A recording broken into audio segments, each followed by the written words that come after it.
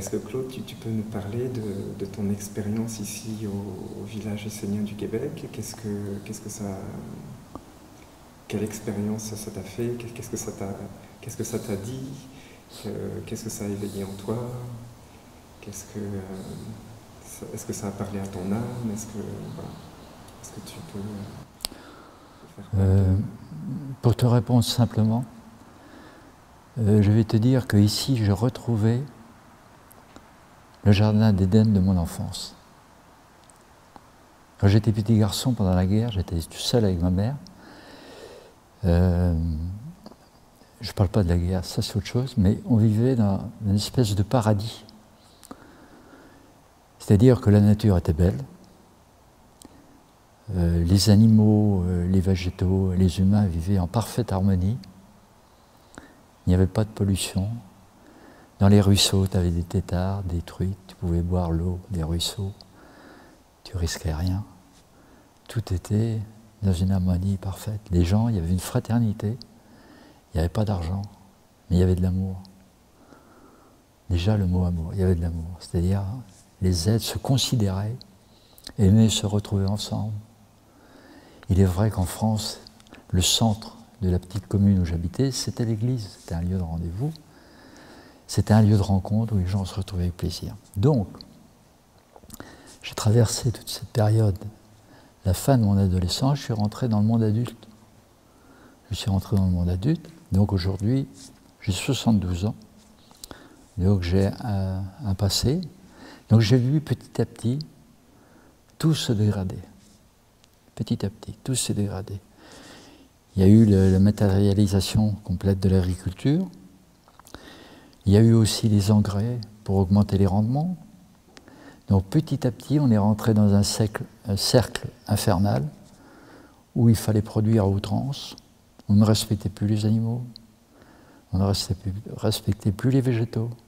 L'eau était polluée, l'air devenait vicié et les êtres humains aussi également. Tout le processus était en marche. Et, et j'ai la chance de venir ici au Québec, dans un village essénien.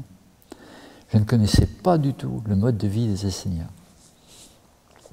Et j'ai découvert avec bonheur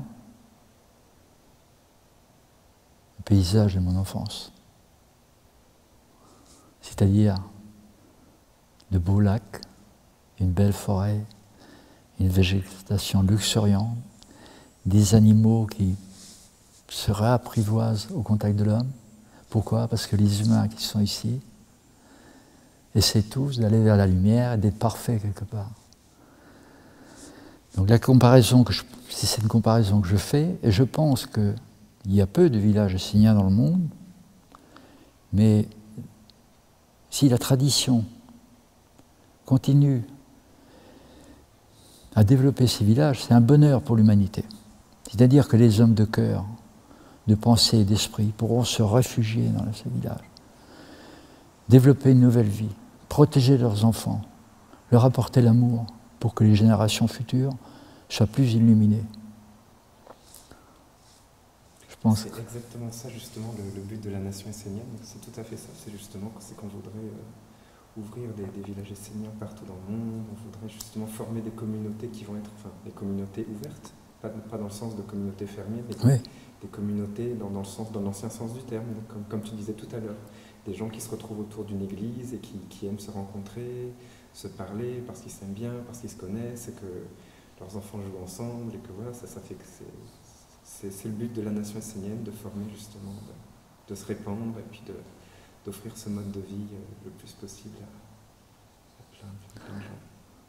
Mais je vais te dire, et ce qui me fait peur, c'est que demain, je rentre en France. Et je vais retrouver les mêmes schémas que lorsque je suis parti. Et je pense qu'on est dans... On parle beaucoup d'écologie, il y a des politiques écologistes, il y a des soi-disant écolos. Tout le monde en parle, mais personne ne fait rien. Et j'ai peur que demain, je vais retomber dans, ben dans, dans le schéma que je vais... Je vais avoir la nostalgie d'ici c'est sûr. Mais comment, euh, comment arriver à l'appliquer en France? Moi, à titre personnel, je l'applique. J'ai un verger conservatoire. que j'ai créé. Donc je développe euh, avec quelques amis euh, le respect de l'environnement, mais on est bien seul. Et on est écrasé par la, situation politique, les puissances financières, la destruction de la planète qui, est en marche et que personne ne réagit. Donc, eh ben, par la pensée, je serai toujours avec vous pour que vous continuiez à, créer et à développer ces villages où il y a la joie de vivre, dans la simplicité et dans l'amour. Merci.